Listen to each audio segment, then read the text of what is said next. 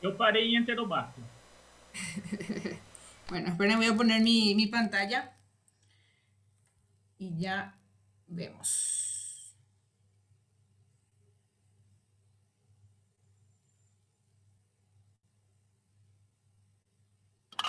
Pra falar a verdade, depois da prova de microbiologia, nem peguei. Estava esperando a senhora, professora. Muy bien. Muy bien. Son Estava unos estudando malcriados. micro emburrada, profe. Son unos ma- malcriados porque consiguen todo lo que quieren. A gente arruma vários inimigos nessa, nessa faculdade. A gente é, É, muito mimado, né? Eu sou carta Arruma- marcada na faculdade. Arrumamos inimi- inimigos e entramos para grupos. ya me, já fiquei sabendo de algumas coisas. Que suerte que não assisti nenhuma aula da Mirella. Eu só quero saber dos meus cinco pontos do trabalho manual. Bem ou mal, eu fiz. Agora, Ah, é verdade. Também quero. Ai, tenho que corrigir eu agora. A Mara merece 10, porque ela tem dor na mão e fez. Não, ela falou que era só fazer que já ganhava os cinco pontos. Não precisava, eu acho que ela nem ia corrigir. Isso, doutora. Eu, eu, eu ativei a dor da minha síndrome de túnel do carro fazendo aqui. Sí, profe, necesitamos los cinco puntos. Mi mano tuvo todo callo. A Gabi lembrou que tem que fazer cirurgia do carro. A Mara, coitada, merece 10. Sí, Mara me dijo, merece 10. Bueno, acá, acá me dicen en el chat que ya puntuó en la plataforma. A Foz, profe. ¿Ah? Profe, volviendo a Foz. Ah. Ey, gracias por mencionarme en el Instagram. Después voy a mirar. Bueno. Eh, la última clase que yo pasé para ustedes fue enterobacterias. Que fue en 1930 más o menos, ¿verdad? Después pasé también un material de bacilos gram negativos no fermentadores. Eh, ¿Qué dieron más ustedes? Vi también que tienen materiales de clamidia, micoplasma. Vi que tienen eso. Vi que tienen, eh, les pasé también de forma clandestina, ¿se acuerdan? Eh, Helicobacter y Treponema.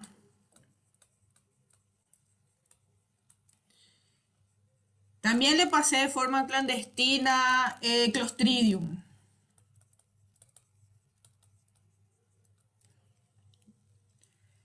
¿Qué más tienen? Mycobacterium.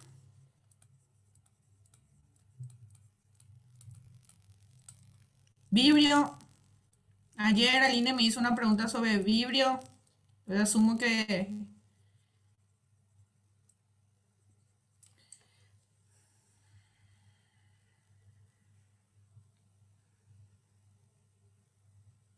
Bueno, si tienen algo más, si tienen algún tema más que fue pasado o alguna cosa así, pásenme nomás, vamos a agregar a la lista, ¿sí?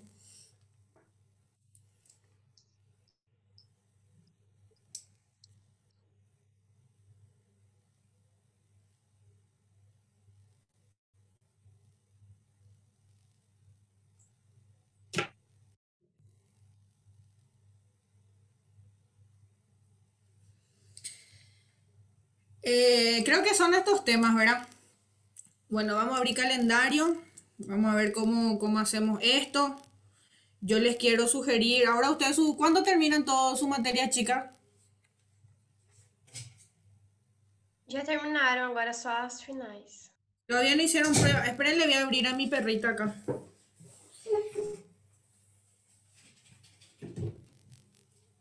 Vení, bebé.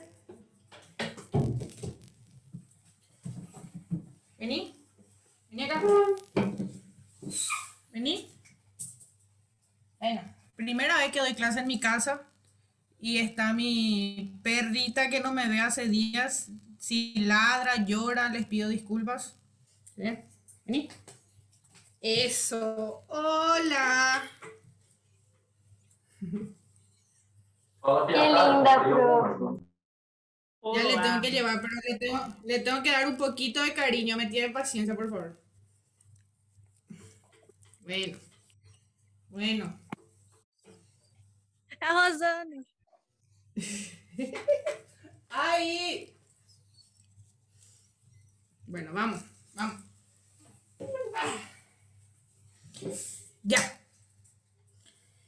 Eh, bueno, son estos, tá? Doutora, não, é, pseudomonas, não? Pseudomonas entra en bacilo gram negativos no fermentadores. Beleza. Ahí. Entonces tenemos que rever. Enterobacterias, la última clase yo ya di.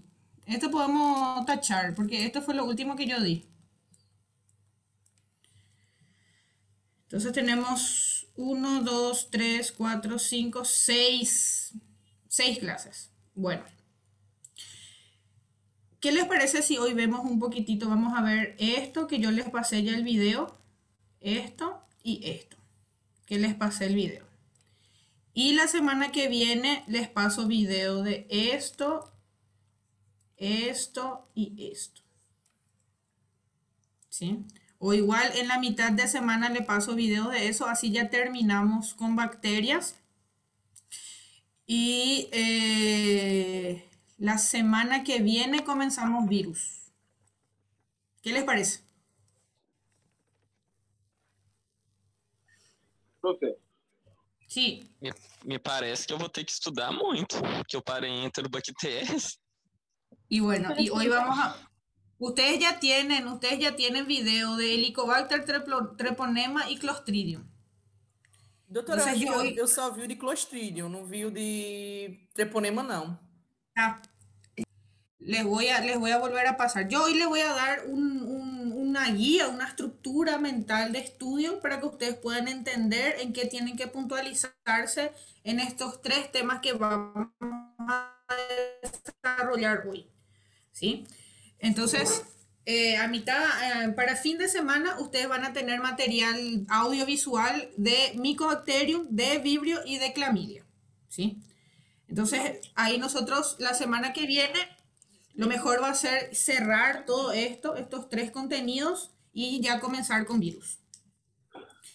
A pesar, a, pe- a pesar de que yo no quiero comenzar todavía con virus, porque yo les quiero dar una clase de antibióticos que no está en la plataforma, eh, no está en el programa, pero eh, yo lo, lo- lo sugiero porque es muy importante. ¿verdad? Virus es muy corto. Virus podemos desarrollarlo en tres semanas. Hongos lo podemos desarrollar en dos semanas. ¿Verdad? Entonces, si nosotros aceleramos un poquitito esta primera semana nomás, aceleramos un poquitito el paso, yo creo que, que llegamos súper bien.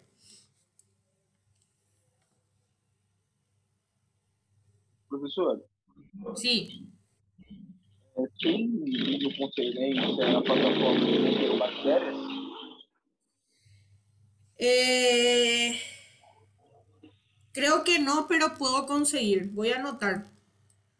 Si se acuerdan, si se, si se acuerdan de la fecha, yo voy a ir a pedir en la secretaría y coloco en el drive esa videoconferencia. ¿Se acuerdan que yo era que pasé? La última videoconferencia que tuvimos hablamos de enterobacterias. Pois seria muito, muito útil. Sí, y ahí, y ahí estamos, estamos más o menos al día, ¿verdad? Em, yo quiero prepararle a ustedes estos videos de Mycobacterium vibrio y Clamidia mycoplasma para que ustedes puedan estudiar para el examen nomás luego, ¿verdad? Porque siempre yo en mis clases de videoconferencia yo coloco los temas más importantes, ¿verdad? Lo que nos va a servir en la vida. Pero lo que ustedes tienen que saber académicamente lo van a tener en el video, ¿sí?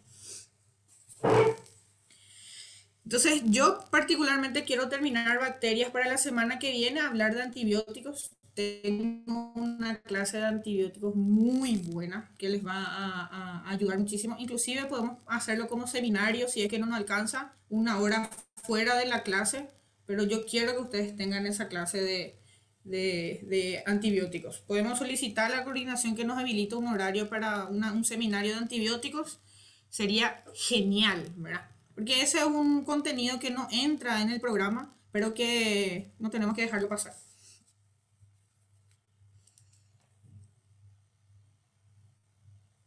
Bueno. Entonces hablemos, hable, vamos a hablar, primeramente vamos a hablar de treponema entonces.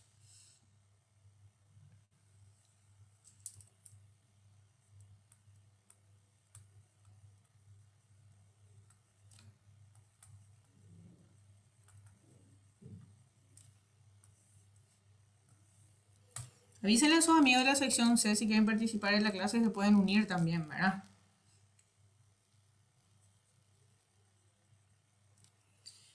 Eh, lo primero que nosotros tenemos que saber es que el género, ¿sí? Eh, el género es treponema y la especie es pallidum, subespecie pallidum.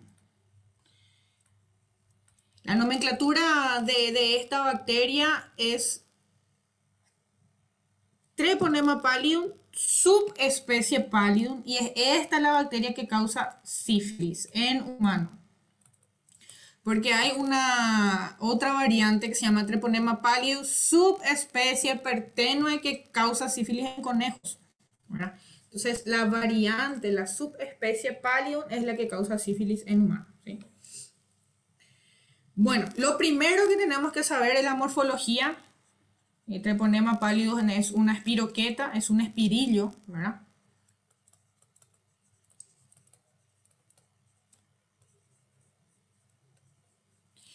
Y es, es de tamaño mucho menor a todas aquellas bacterias que vimos, tanto los cocos gran positivos como los bacilos gran negativos, tienen un tamaño de más o menos entre 20 a 46 micrómetros y la espiroqueta es mucho menor.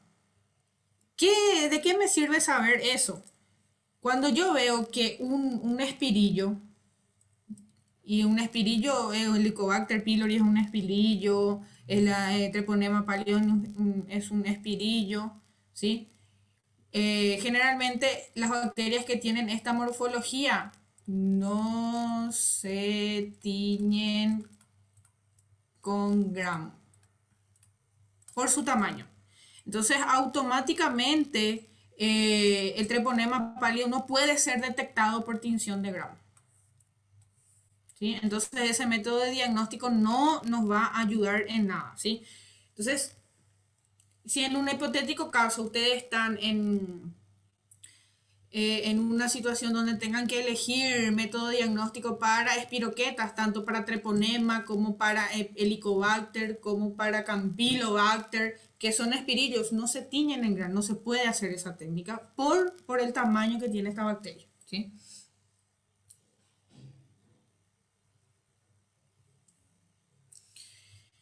Eh, estas bacterias lo que nos pueden arrojar son pruebas, eh, esta bacteria lo que nos puede arrojar son pruebas de, métodos directos o indirectos para la detección. ¿verdad? Yo puedo tener métodos directos y hablamos en la práctica, ¿se acuerdan?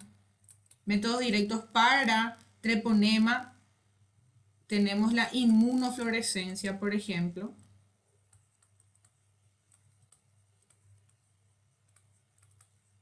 ¿Sí? Que es nada más que la inmunofluorescencia consiste en un marcado de esta bacteria. Se utilizan algunas proteínas fluorescentes que marcan la bacteria y que emiten luz fluorescente.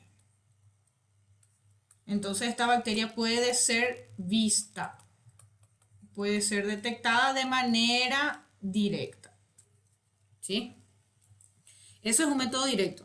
También se pueden utilizar métodos indirectos de detección, ¿sí? Que podemos tener dos tipos de métodos indirectos. ¿Me siguen hasta acá? ¿Están para bien? Sí, profe. Muy bien.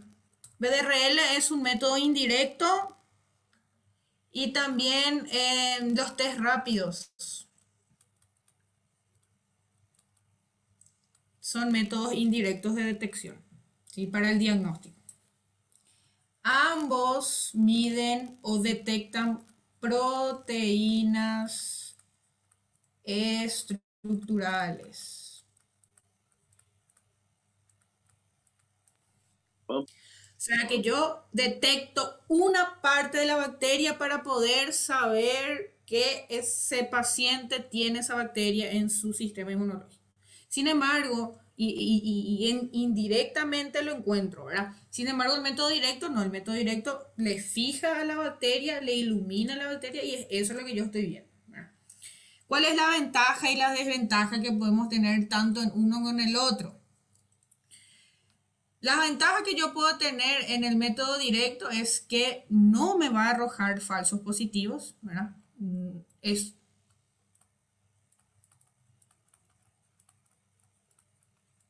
eh, falsos positivos. FTABS indireto. ¿Cómo, cómo? FTABS. FTABS es el método que se utiliza para la inmunofluorescencia, es un método directo. Gracias por eso, ¿sí? No les coloqué acá.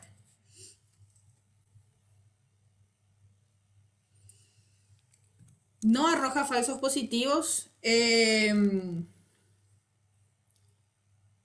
eh, es un método sensible y un método específico. Eso es una de las ventajas, ¿verdad? Sensibilidad alta y especificidad alta. ¿Sí? Ahora bien, yo nunca le he explicado a ustedes lo que significa la sensibilidad y la especificidad.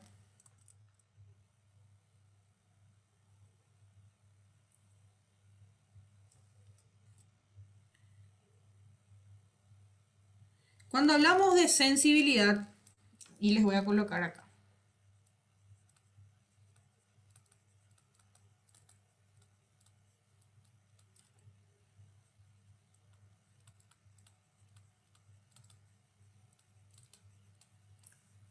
Cuando hablamos de sensibilidad, es la capacidad que tiene este método para detectar individuos sanos.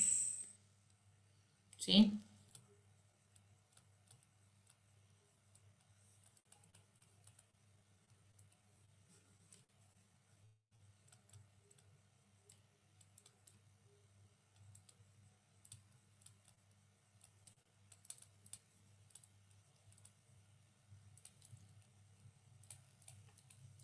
Sin embargo, la especificidad es la capacidad que tiene ese método para detectar individuos enfermos.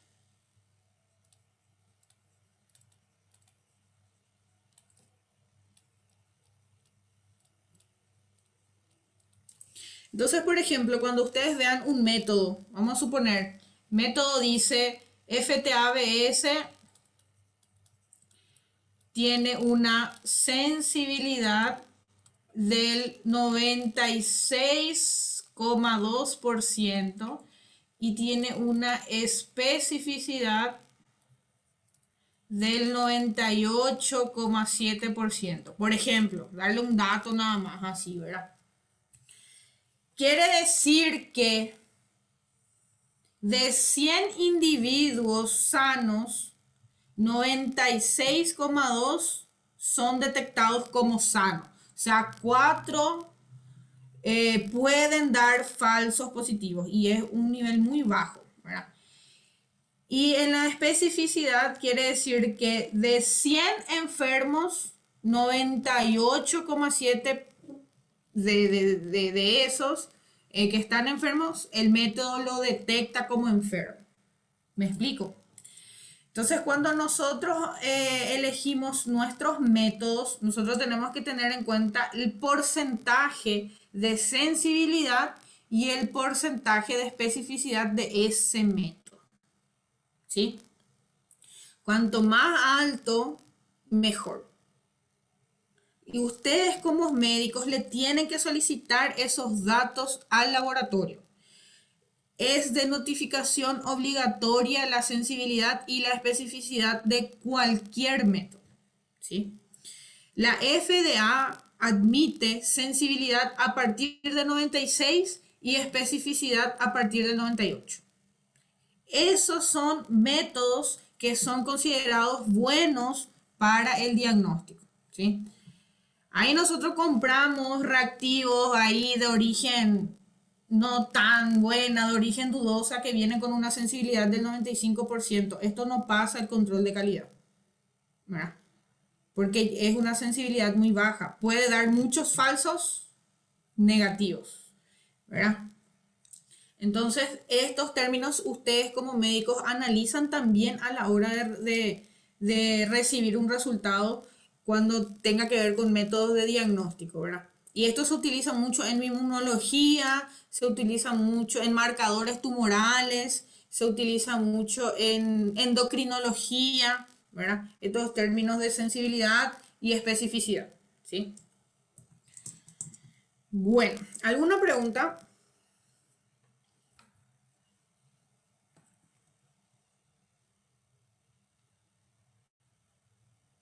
Hasta ahora no, profe. Bueno. Continuemos entonces. Eh, hablamos de la morfología de treponema, hablamos de los métodos que podemos utilizar para el diagnóstico. Sabemos que podemos utilizar BDRL que hicimos en el laboratorio. Sabemos que podemos utilizar test rápidos que hicimos en el laboratorio y que son considerados como métodos indirectos. Muy bien. Ahora vamos al cuadro clínico en sí.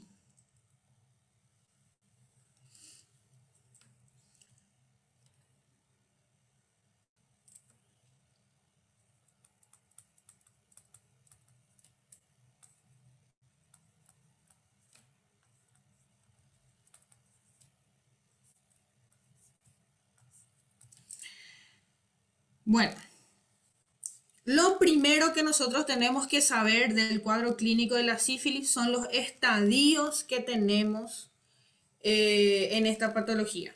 Nosotros primero vamos a tener la sífilis primaria,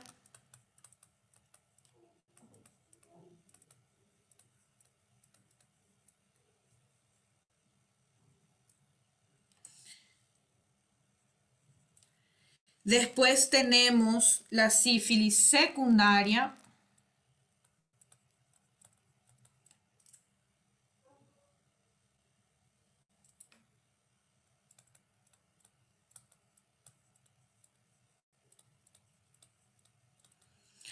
Pero hay un periodo acá entre la sífilis primaria y la secundaria que lo vamos a analizar también, ¿sí?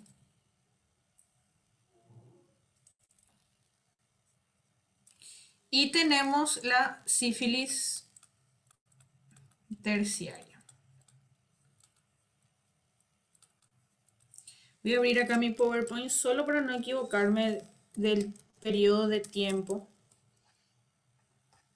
Porque a veces es relativo entre la primaria y la secundaria.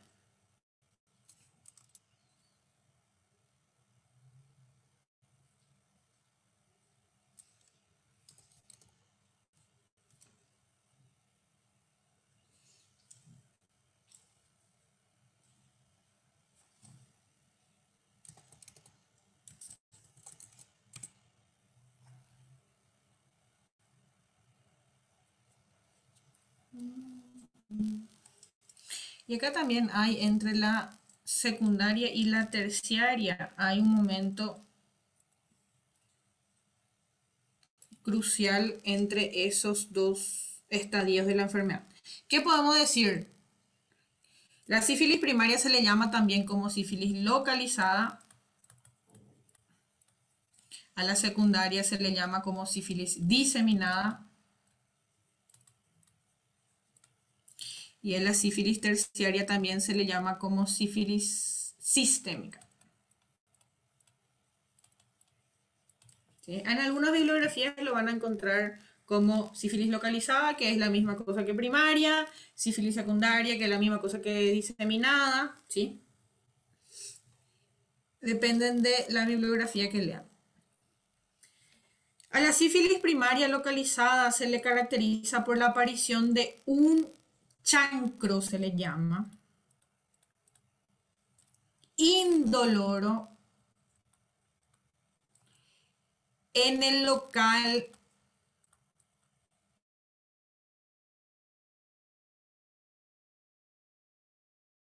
vamos a llamar en la zona donde se entró en contacto. Este chancro aparece en el hombre, aparece en el pene, en la mujer aparece en el cuello del útero. Hay casos y no me pregunten por qué, porque dejen volar su imaginación. Aparece también acá, en el cachete, ¿verdad? Entonces depende de dónde estuvo el treponema para que aparezca el primer signo, ¿sí? Eh, ese chancro es indoloro, al paciente no le causa ninguna molestia, ¿sí? La molestia es más bien estética, ¿sí?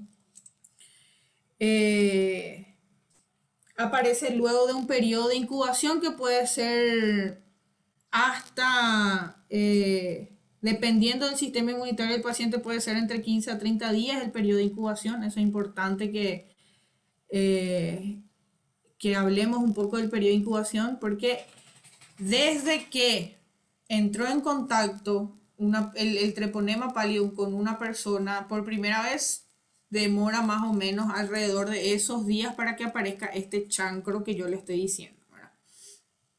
Tem como repetir o período de incubação para mim, fazendo um favor, professora, que cortou aqui? Sí, claro. El periodo de incubación de la fase primaria aparece en algunas bibliografías, ustedes van a encontrar entre 15 a 30 días. Y en algunas bibliografías ustedes van a encontrar, y en, en mi material está entre 10 a 90 días. ¿Sí? Es muy relativo este tema de periodo de incubación. Depende mucho de la carga viral. Depende mucho de la carga viral que recibió esta, esta persona. Depende mucho de su sistema inmunitario también. Entonces puede variar el periodo de incubación. ¿sí?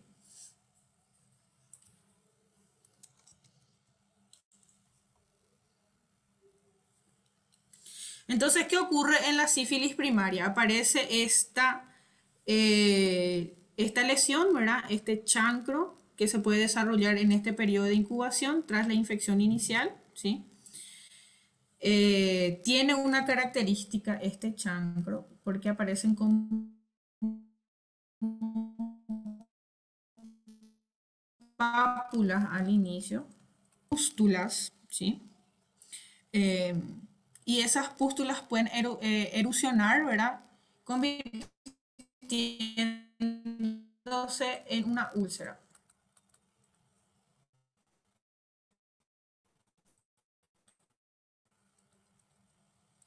Formar una úlcera que es indolora y la característica de esa úlcera es que los bordes son elevados. Úlcera con bordes elevados. Parece hongo. Le soy bien sincera, parece una micosis, porque los bordes son activos y son elevados y a veces pasa desapercibido justamente porque parece una micosis y como al paciente no le duele, no le llama tanto la atención.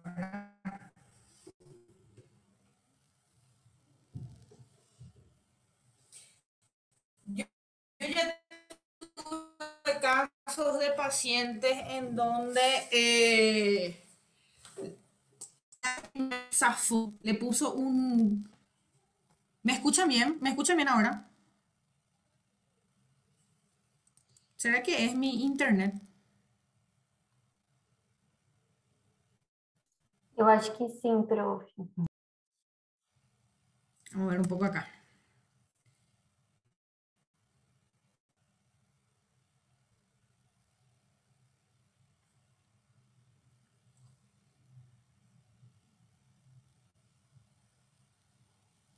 ¿Y ahora me escuchan? Sí, profe. Sí, profe. Bueno, ¿dónde se quedaron?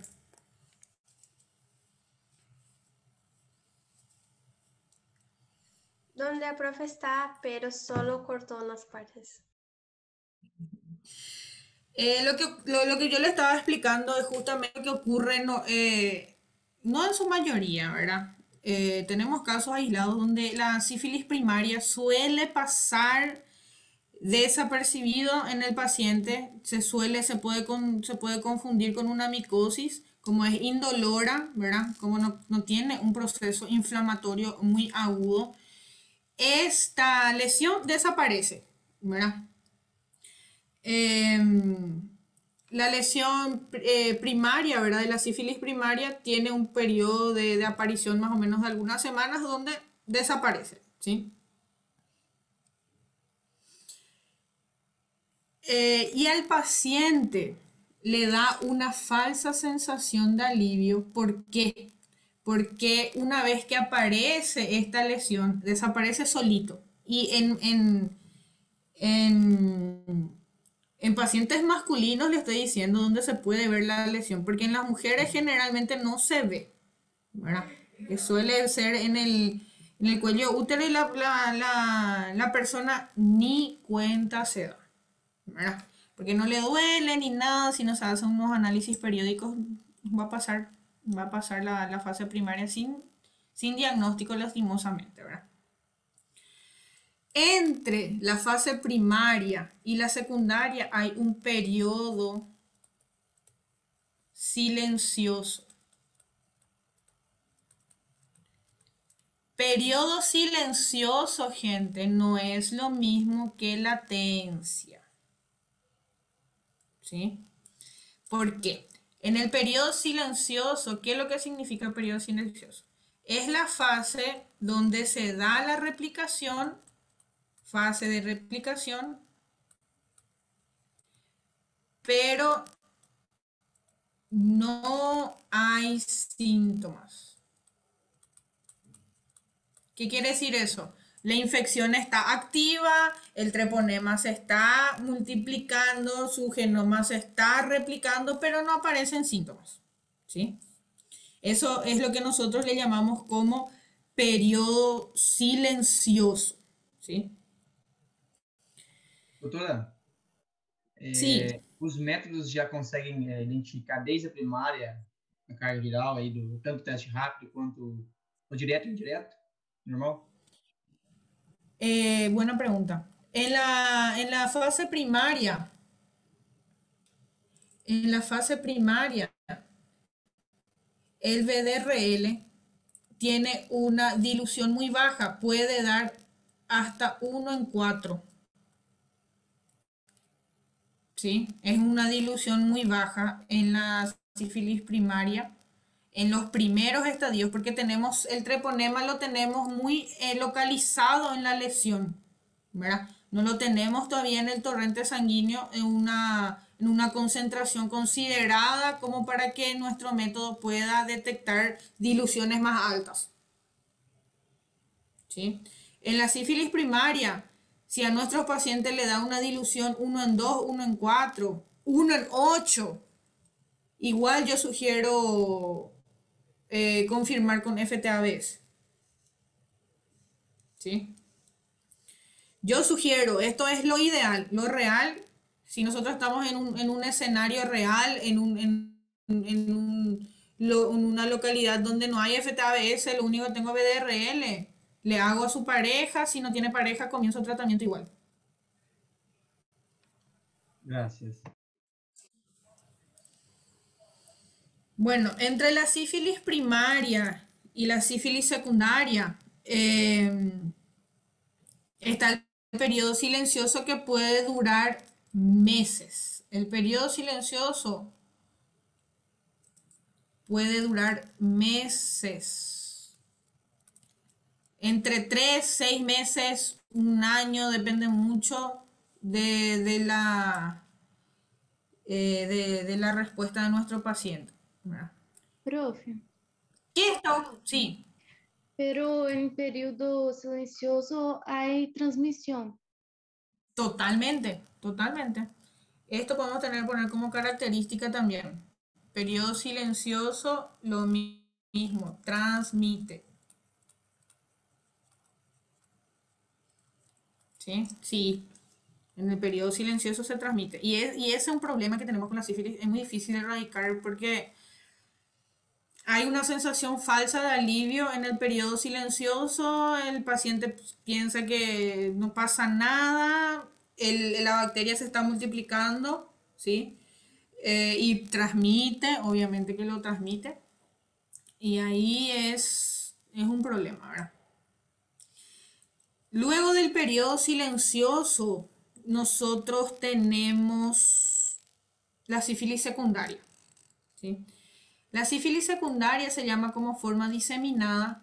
¿Por qué? Porque el treponema ya no está en el lugar de inoculación, sino que ya está en el torrente sanguíneo. Ya está en la sangre y el treponema ya se pasea por todos nuestros vasos sanguíneos.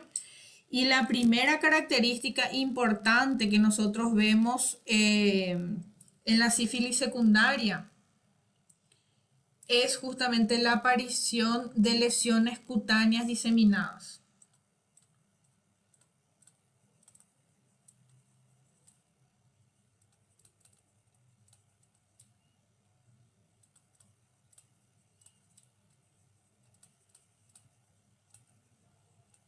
¿Qué quiere decir lesiones cutáneas diseminadas?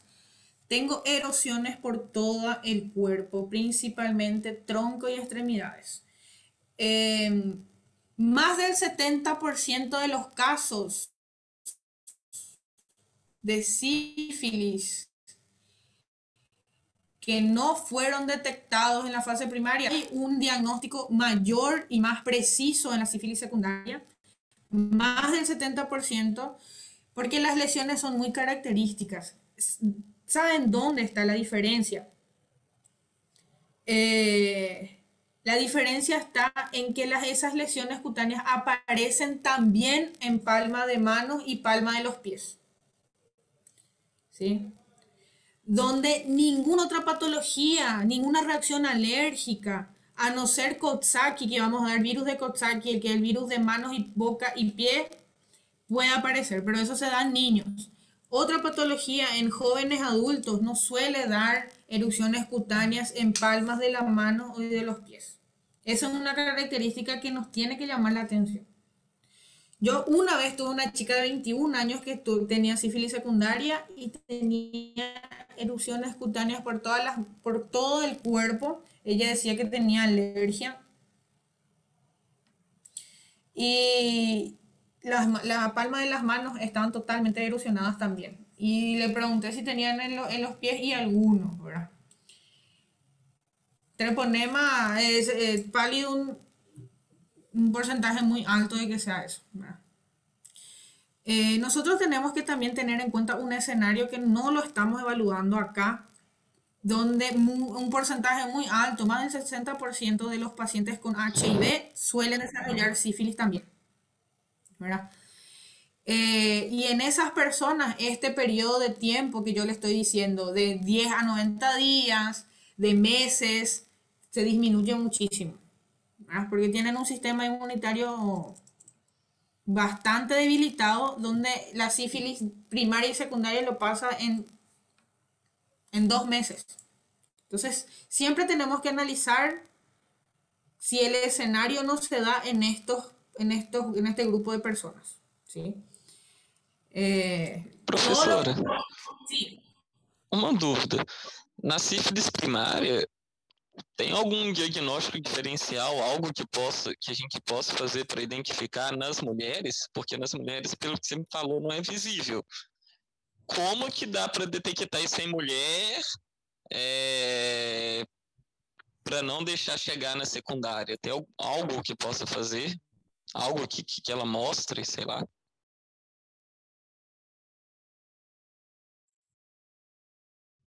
Sí, ¿verdad?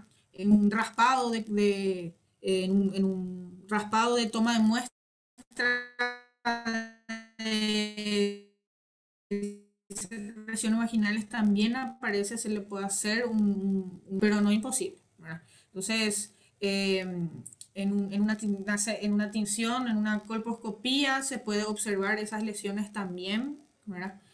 Y son lesiones características porque las lesiones eh, en el cuello uterino de, sífilis son muy superficiales y tienen, como tienen bordes activos también, como forman esas pústulas y, ulceraciones, no se confunden con ninguna otra patología. Y se puede detectar, se puede detectar. Mas daí ela meio que teria que ter a sorte de ter ido fazer um exame de rotina para poder detectar isso, né, prof? Porque ela perceber isso não tem como, né? Exactamente. Y, y- y lo importante es que si el parcero tiene algún, algún tipo de lesión, siempre se recomienda hacer eh, los dos el test, tanto FTA como DRL, ¿verdad? Eh, por eso les digo que en, mujeres es un poco complicado en esa, en ese- en esa fase, ¿verdad? Solo si hacemos un análisis periódico y la persona está, siente de que tiene que hacerse análisis de rutina cada semestre o por lo menos anual, lo va a detectar, ¿verdad? Eh, por eso es lo que nosotros siempre apuntamos políticas que, que desarrollen y que lleven a conciencia a las personas de que tienen que hacerse análisis periódicos de sífilis, porque es una patología muy silenciosa. Eh, si, si existen eh, chicas que son sexualmente activas, una vez que inician la actividad sexual ya tienen que sospechar. Y ya tienen que hacerse análisis periódicos de BDRL, de micoplasma, ureaplasma, clamidia, eh, de HIV. Nunca queremos, nunca sospechamos que nos va a pasar a nosotras, ¿verdad? Pero cara sabe, vemos, pasado no sabemos. Entonces siempre hay que tener esa duda y hacer esos análisis periódicos. Em, bien, algo que tenemos que tener en cuenta en la sífilis secundaria es que acá sí, en la sífilis secundaria, BDRL suele dar titulaciones altísimas. Acá no necesito hacer FTABS porque me va a dar 1 en 132 si es, es posible. Da titulaciones muy altas. El método indirecto se transforma como un método confirmatorio en esta etapa. En el periodo silencioso también. Y eso es importante tener en cuenta porque en el periodo silencioso ya voy a tener forma diseminada, ya voy a tener cardiolipina en mi sistema y ya va a detectar BDRL con titulaciones altas. Voy a colocarle dos flechitas porque no va a ser tan alta como en la secundaria. ¿sí? Va a ser alta pero no tan alta. Pero ya podemos tener, confirmar también en el periodo silencioso. Em, entre, entre la sífilis, sí, É, na primária, é, o VDRL é alto. Explica de novo, por favor. No, en la primaria yo tengo BRL con titulaciones bajos. Puedo tener hasta 1 en 8, dependiendo de la carga viral que recibió este paciente, ¿verdad? Y se acuerdan que yo en la práctica les había dicho que para confirmar sífilis por BDRL yo tengo que tener titulaciones superior a 1 en 8. ¿Sí? Se recomienda confirmar en la fase primaria BDRL, eh, perdón, sífilis con FTABs, porque tiene titulaciones ahí para abajo, ¿verdad? Eh, sin embargo, entre el periodo silencioso y la sífilis secundaria, yo ya tengo titulaciones altas. Yo puedo tener uno en 16, uno en 32, uno en 64, uno en 96, que ya sobrepasa mi límite de, dudosidad. Entonces yo no necesito hacer otro método. Yo ya confirmo sífilis con mi BDRL, que da títulos demasiado altos. Entonces, ¿para qué? ¿Verdad, Reinaldo? Gracias. Entre la fase, la fase secundaria y la sífilis terciaria existe un, una fase que se llama latencia.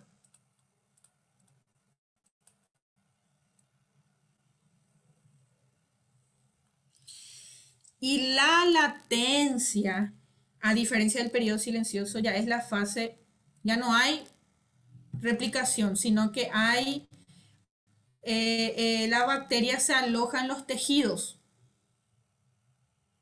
Por eso es, eh, se aloja en los tejidos, se aloja en tejidos, no presenta síntomas.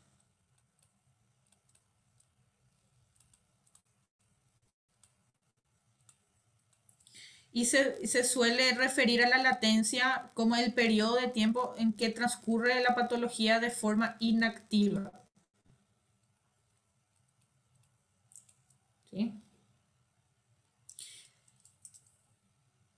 La latencia, gente, puede durar años.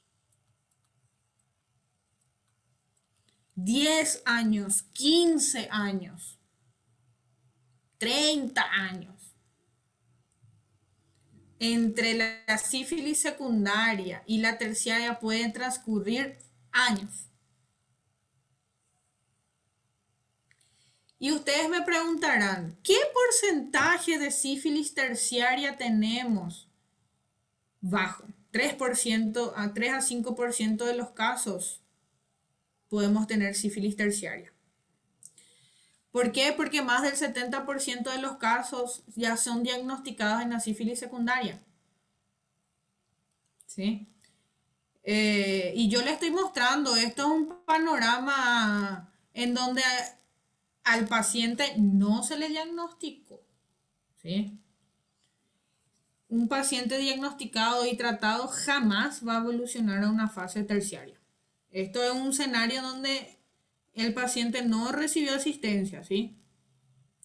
En el caso del que el paciente no haya sido diagnosticado ni en la fase primaria, ni en la secundaria, ni en el periodo de latencia, cosa que no es muy común, podemos tener la sífilis terciaria. Y la sífilis terciaria se caracteriza por tener infecciones sistémicas. Sistema nervioso central podemos tener neurosífilis.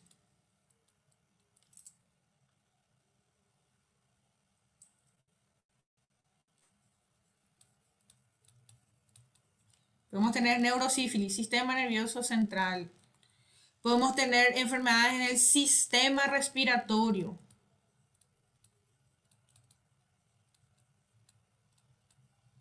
¿Sí? Podemos tener también enfermedades articulares.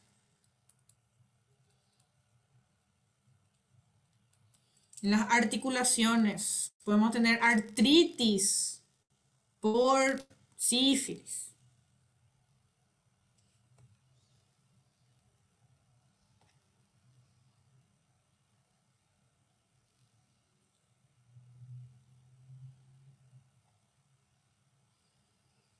Eh, ¿Qué más podemos tener? Voy a mirar un poco acá qué más podemos tener. Ah, sí. Eh, podemos tener todas estas enfermedades eh, de forma sistémica y no me tengo que olvidar de una forma de, de sífilis, que es la sífilis congénita.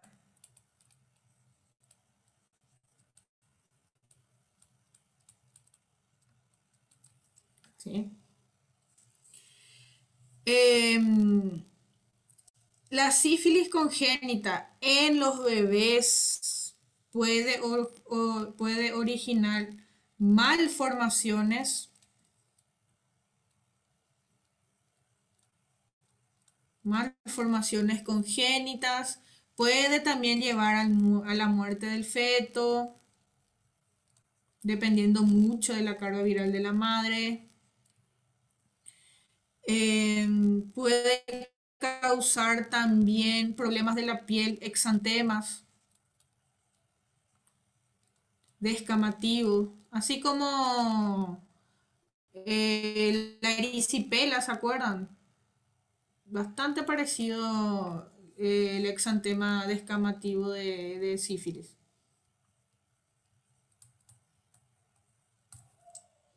La sífilis congénita.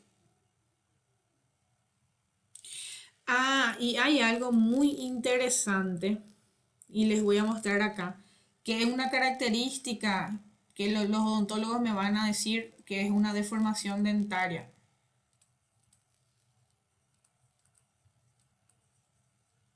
Se llama dientes de Hutchinson.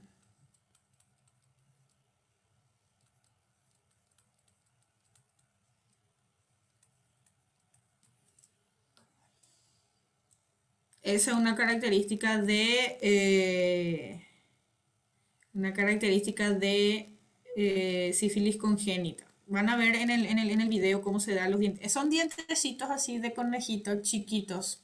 Y esos son muy característicos de sífilis congénitos.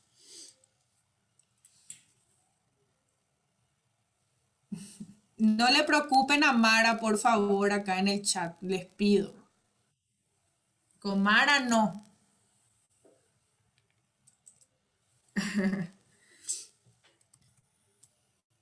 Prof, na fase de latência, é, também transmite mesmo estando inativo?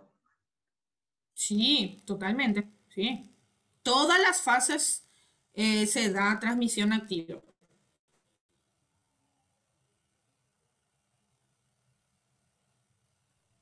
Professora, me explica melhor essa deformação dentária. Eu, particularmente, eu nunca vi. Por que isso Demuestra, ocorre? demuestra. Isso aí ocorre só em ninhos, né? Em fase de desenvolvimento. Sí. Sí, voy a mostrar acá.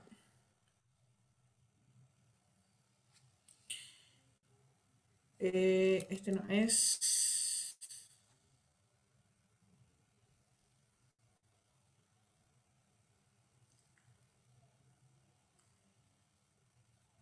Esta es la descamación que vemos en la sífilis congénita. Entonces, eh, el pacientito recién nacido, Ahí se ve mi, se escucha mi audio. Este es justamente la descamación que se ve. Suele dar también rinitis, una rinitis muy aguda, la descamación de las palmas de las manos y los pies. ¿sí? Y este es el signo de Hutchinson, dientes de Hutchinson que se ve en pacientitos que obtuvieron sífilis congénita. No sé cómo se llama, cómo se le dice de otra forma, ¿verdad? Pero esta es la característica. Ven cómo los dientes son puntiagudos y no tienen un crecimiento normal, ¿verdad? Exactamente, conoides. Profe, tengo Y ese es el, el- Sí, Eh, esos dientes se ven obviamente cuando la criatura ya no es más bebé. Entonces, ¿ese niño ya tuvo desde nacimiento el sífilis? ¿O cómo, cómo sería? sí, sí. Hay casos también, y es una muy buena pregunta, porque hay casos donde los ni- niñitos con sífilis congénita ya nacen con dientitos. Ese también es un signo, Mm. pero que después se da en cuando pierden el- los dientes de leche y, y crecen otros dientes eh, permanentes, por así decirlo, de esta forma. Profe, ah, Y los dientes son chiquititos. profe, ¿Sí? escucha? ¿Te escucho? Ah, tá. A sífilis primária, por ser localizada, ela só vai ser passada de forma congênita por contato de canal do parto. Daí, nesse Isso. caso, nesse caso é solicitado para a mãe já fazer cesárea. Exactamente. Gracias. Depende, sí, depende mucho del estadio en que la mamá esté para que la gravedad, la- para detectar la gravedad de la sífilis congénita, ¿verdad? Eh, la sífilis primaria, si es detectado en el análisis periódico de la gestante, se, se dan eh, tratamientos diferenciales. Pero hay veces que la mamá está ya en la sífilis secundaria durante su gestación y la probabilidad de que, el- la, de que la criatura nazca con sífilis secundaria, o sea, con sífilis congénita, es mucho mayor, ¿verdad?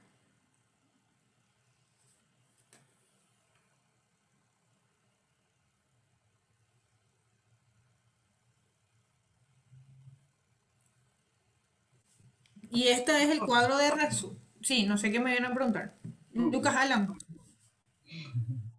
Doutor, é o seguinte, é, essa, essa lesão cutânea na fase secundária é, Uhum. é totalmente diversa da, do chancro. Ela tem dor, ou como que é? Sí, se da como ulceraciones también. Le voy a mostrar acá. Ven en tronco y extremidades, ¿verdad?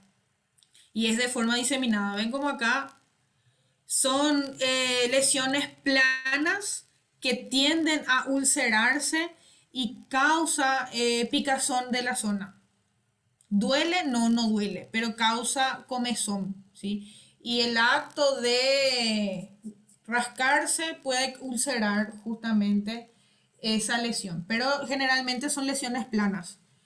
Acá también vemos, las lesiones son bastante planas, parece sarampión, ¿verdad? Pero la diferencia es que estas lesiones también aparecen en palma de manos y de pies, que tienden a ulcerarse. Doutor. Y esto también es importante. El exantema y los síntomas desaparecen de forma espontánea. Y el paciente pasa a la fase de latencia o clínicamente inactiva.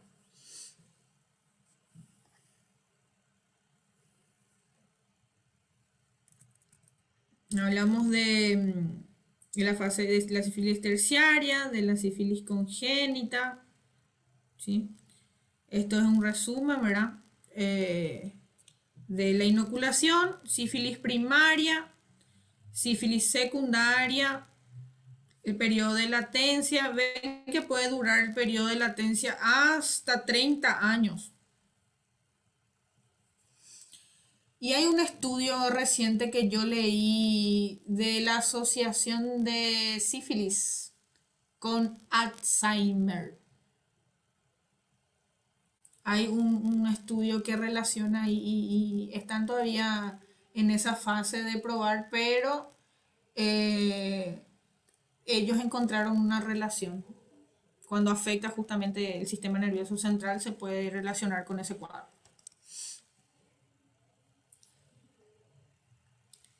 Hablamos de los diagnósticos, esto hablamos al principio, esto hablamos también al principio de las pruebas de sífilis.